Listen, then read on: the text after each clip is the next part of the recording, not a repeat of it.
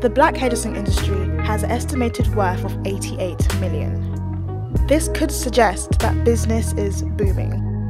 But in the age of YouTubers, beauty gurus, and DIY culture, are some hairdressers struggling to adapt or are they evolving to the needs and wants of the modern times?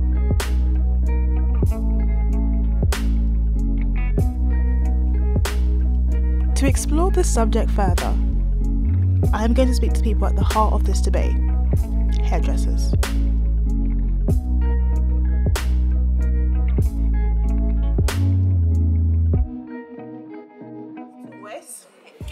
one way and the other way. Like most of our customers are not like youth, youth, youth that you know like goes uh, on the internet, you know. But for the younger ones that we used to do their hair, they now do hair for themselves. You know, when it comes to like wearing like wigs, they go on the YouTube, the link. Even with hairdressers, we have to upgrade as well. Otherwise, we won't have no customers. Every day new styles are coming out now, so we actually have to change and then we have to move with the way the old thing is moving. YouTube it helps everyone.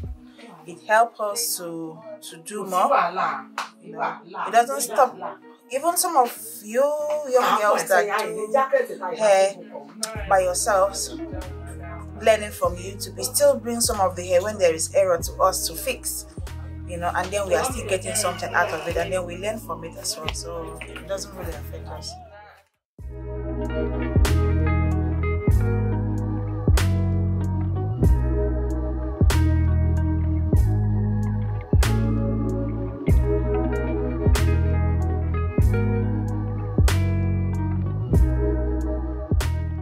I've been doing hairdressing for quite a while, and um, I think people that does the hair most on a frequent basis is um, younger people, and YouTube is attracted to. I mean, younger people is attracted to YouTube more than the older ones, and the older people they don't do the hair that often, and now the younger ones are learning to do the hair by themselves, and they change their hair very regular now is make the hairdressing industry going down very low because they're not coming in anymore. Sometimes they do come, but they're asking to adjust whatever they do, and they're not paying a lot for that anyway. So it's really gone down. Some of the stuff that the young people are going to YouTube to learn, not all of them learn it.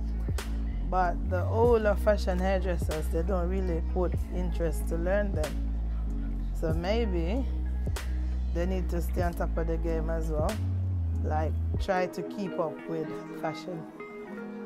Try to be on top like to do the newer fashion that the younger generations like because some of them as well even though they go to youtube they still they're not able to do it for themselves but there are some that's going there to learn and they're charging excess amount of money to do those styles. So we the older ones need to learn the new stuff and charge reduced price to attract the younger generation. But at the same time, if you're saying for the hairdressing industry, I think it's it's not just we the older ones is the if you're looking at the hairdressing industry because the young people they're gaining because they're charging excess amount of money to do these styles and they're doing it sometimes from home and they're not paying rent. So in one sense it's disadvantage to certain people and it's advantage to a next set of people